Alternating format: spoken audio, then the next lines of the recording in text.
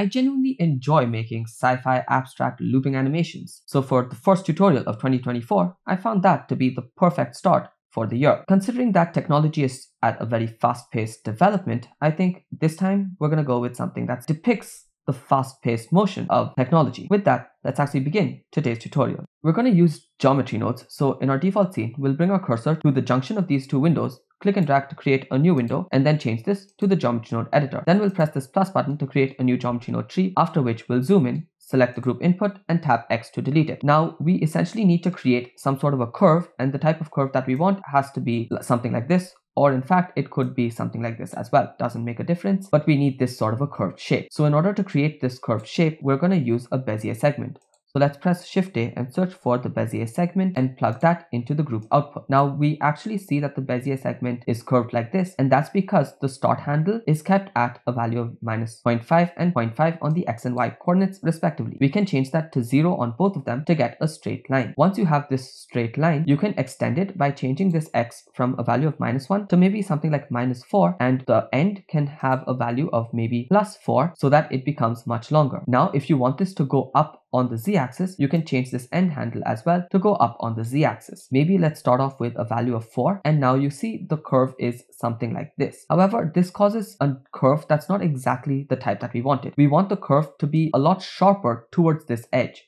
So that's the type of curve that we want. In order to get this sort of curve, we can play around with the curve handles, which will allow us to play around with the shape of the curve. So we're to use this end handle and just start playing around with this X and you can actually say that this handle is going to take this x value. The handle is present somewhere over here and it has one handle here and one handle here.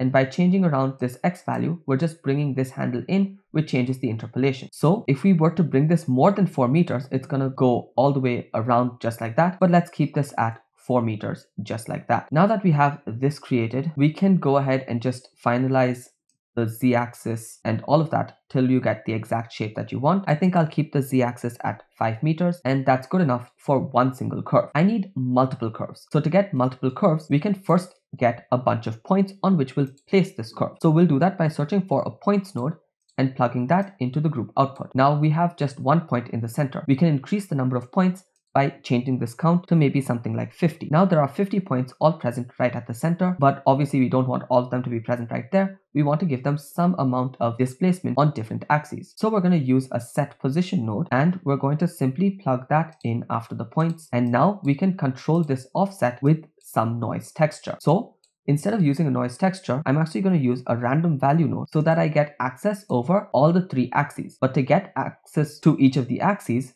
we're going to have to change this from float to vector. Now let's plug this value into the offset and you can see how they all move to one particular side. Let's go ahead and change this to have a min value of maybe minus 0.5 on all of the axes as well as a value of plus 0.5 on all of the axes. So that way they all come towards the center. Now I want these to be more spread out on the y-axis. So I'll just go ahead and change this y value from minus 0.5 to maybe something like minus 2 and over here I'll make this plus 2 as well. So now more widely spread on the y-axis. Now let's go ahead and instance this Bezier segment on each of these points. So let's press Shift A, search for an instance on points node and plug that in after the set position. For the instance, let's use the Bezier segment and now we have all of the segments just shifted around here and there. You can always play around with these values as much as you want. Maybe a value of minus 3 and plus 3 will be better and you can always play around with the seed as well if you don't like the distribution that you currently have. Once you have this set, the next step is to get some spheres to move along these curves. Now you can check out this video over here where we created a brain cell or communication abstract looping animation using a very similar technique as we're about to use over here, but we'll go through the exact technique once again right now. We're gonna have to search for a bunch of points first, and we can do that using the same points node. So let's select it, press Shift D, and this time I want there to be like 500 points. So I'll change the count to 500. Now the position of these points have to be positioned along these curves. So we can do that by sampling each each of the curves. So let's search for a sample curve node. And remember, this is going to have to take in curves as an input and not instances. So to convert them from instances to curves, we can search for a realize instances node. And now we have real geometry at the socket over here and we can plug that into the curves. Now we want this to change factor based on some particular curve. Let's go ahead and just take this position, plug it into the position, and let's plug this into the group output. Now you see you have all of the points going into the position of whichever curve has an index of zero. As we play around with the factor, you can see that we go up that specific curve and all 500 points are following that exact same position. We don't want that. We want a random factor for each of the points. So let's search for a random value node, plug that into the factor, and now we have points present all along the curve. Then to make sure that we use all of the curves, we can use this curve index node. So let's search for another random value. And this time we're gonna have to choose integer because the curve index is an integer. But for the max value, we have to know how many curves there are. So the way we do that is by just shifting this over to the side, pressing shift A, searching for a domain size and simply plugging this instances into the input for the domain size. And remember, we want the instance count. So we're going to change this from mesh to instances, and then we can plug this into the max for the random value.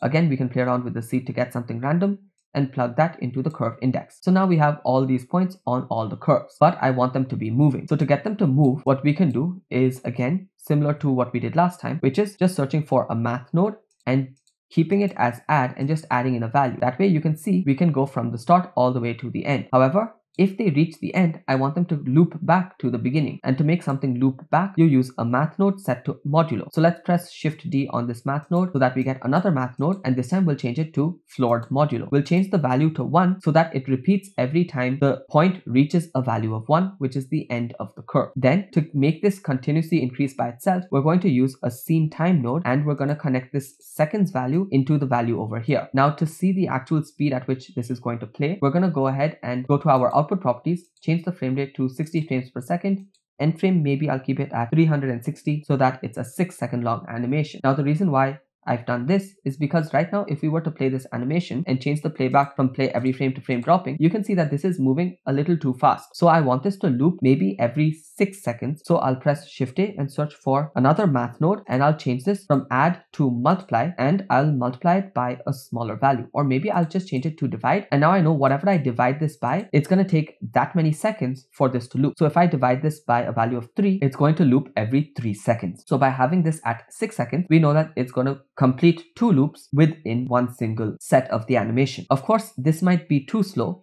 so you could change this down to a value of 2 and that way it's a lot faster and it's still going to loop because 6 seconds is divisible by 2. Remember, if the number of seconds is not divisible by the number here, for example, if we say 5, it's going to loop every 5 seconds, but since we're doing this every 6 seconds, it's no longer going to loop. You can see that as we come to the end, there's a small little jump that you can see right over there. That jump is not something that we want, so I'm going to keep this at 2 itself and that looks better. However, there's one more issue. It's all going up. I want these to be coming down. So in order to change that, all I'll do is change this to minus 2 and that's going to change the direction and it's all going to go from the top to the bottom. That looks great. Let's go ahead and complete this node tree by just joining in the original curves that we had over here with the points that we created. To join two geometries together, we're going to have to search for a join geometry node, plug that in right over here, and then take this output and plug that into the join geometry. And then we have to make sure that these curves that we just created can be seen even if we switch off overlays. And in order to do that, we have to convert them to real geometry. So let's search for a curve to mesh node and plug that in right over here. For the profile curve, let's use a curve circle and then plug that into the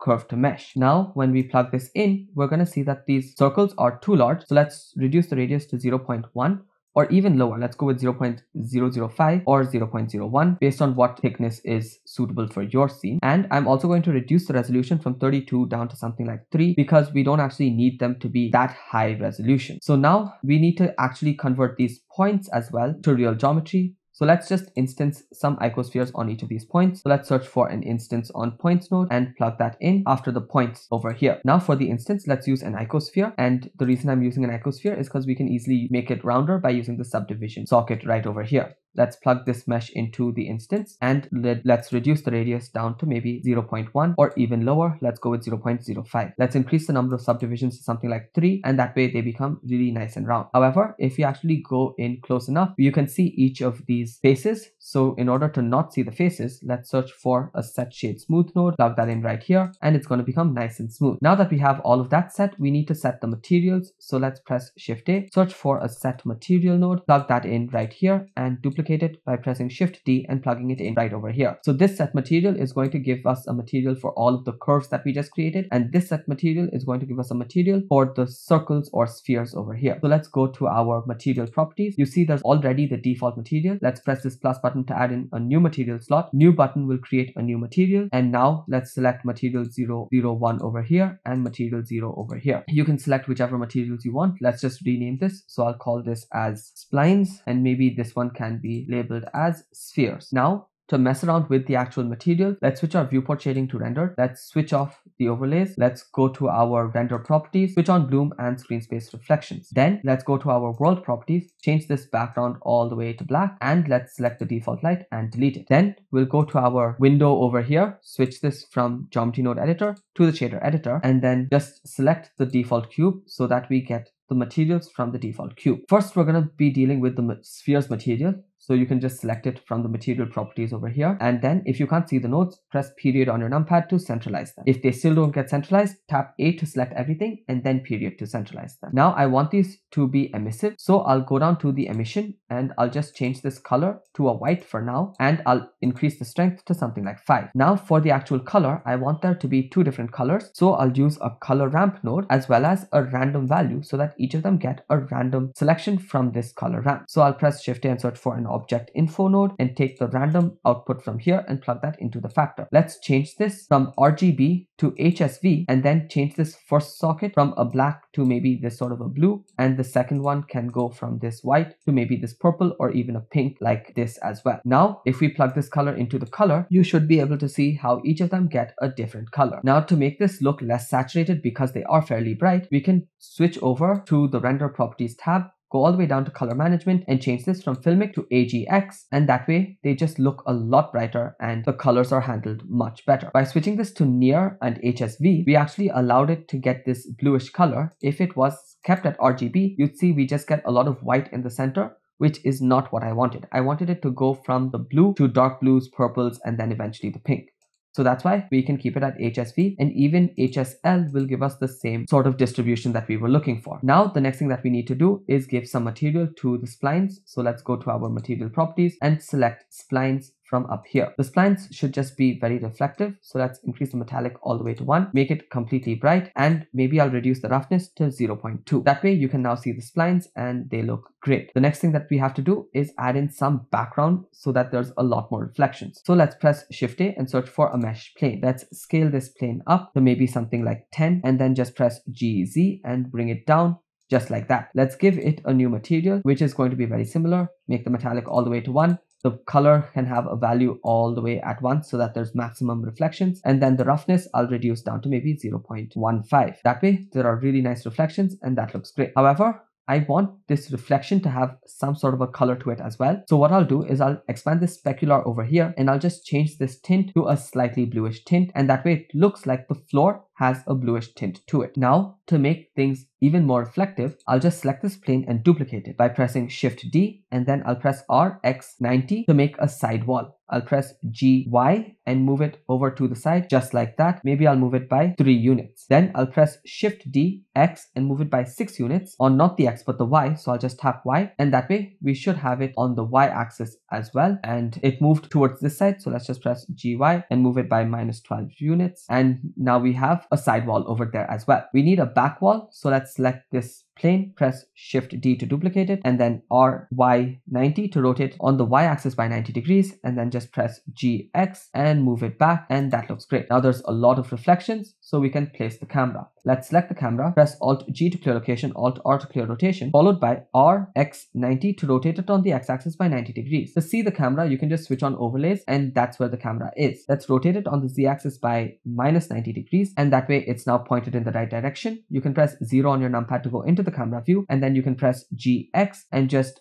drag it back till you're happy with the positioning of the camera. Now I want the camera to be present somewhere like this, but I want all of these particles to go above the camera. So to do that, I'll change the focal length down to something like 18 and that gives it a much more wide angle field of view. And then I'll press GZ and I'll just bring it down to something like that. If you want to get the exact center, you can actually expand viewport display increase 2 all the way to 1 and then expand composition guides and switch on center. So now you can see exactly where the center is and you can align things accordingly. So I'll just move my camera down a bit more and that way we have the center right at the center. If this area is getting clipped, just scale it up or press GZ and bring it down by a little bit so that it is no longer clipped. Now that we have that set up, you can see that the animation is also working perfectly and that is exactly what we wanted. Now to add in the finishing touches, we're going to go over to our render properties and we're going to switch on motion blur. Apart from that, we're also going to select our camera and go to the camera properties and just switch on depth of field. Then we can expand it and we can reduce the f-stop down to something like 1.8 and that will just blur out the edges quite a bit more. Then we can choose the focus distance by just playing around with this to get a nice amount of blur all around except for maybe some central region right here where it does not blur out that much. So you can just fine tune this to your liking and you can always play around with the f-stop. Lower values will create more blurry images. So keep that in mind and play around with this till you're happy with what you have. Once you think that everything looks great and you can make sure that it is looping by going to frame 360 and frame 0 and there should be no difference whatsoever. So as long as the last frame and the first frame have no difference, it will be perfectly looping. So if that is the situation for you, you can go ahead and press render animation. I hope this was a fun tutorial for you and you learned something from it. I will be posting videos as often as I possibly can, hopefully once a day. And until the next video comes out, do check out other videos on my channel because I have over 300 videos that are just waiting to be discovered by you. Until then, thank you so much for watching. Keep creating and don't forget to stay creative. In case you want to buy the final animation, the 4K render, as well as the blend files, you can do so in my Patreon, which will be linked down below. Let me know if you think that's a good idea, and I will be posting every single one of them on Patreon as well.